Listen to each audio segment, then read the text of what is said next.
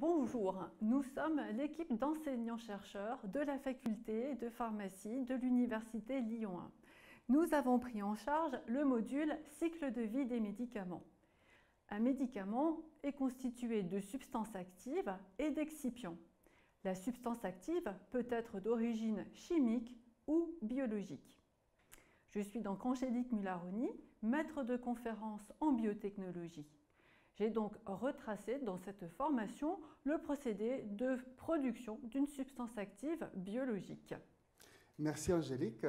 Je m'appelle Plamen Kirillov et je suis enseignant-chercheur au sein de la faculté de pharmacie hein, euh, de Lyon et je suis spécialiste dans le domaine de pharmacie galénique.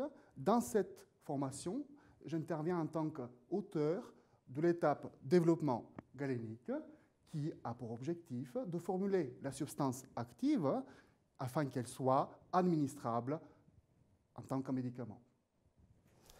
Bonjour, je suis Bruno Fouillet, euh, enseignant-chercheur euh, en toxicologie et auteur de la partie préclinique qui consiste en l'évaluation de la sécurité euh, du médicament chez l'animal de laboratoire et sur des modèles in vitro.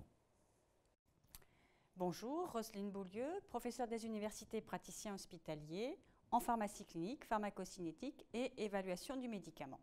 Dans le cadre de la formation qui vous est proposée, j'interviens sur le développement clinique du médicament, dont l'objectif est d'évaluer l'efficacité et la sécurité du médicament après une administration chez l'homme. La partie réglementaire sera traitée par Marie-Emmanuelle Millon, qui est également enseignant-chercheur au sein de notre faculté.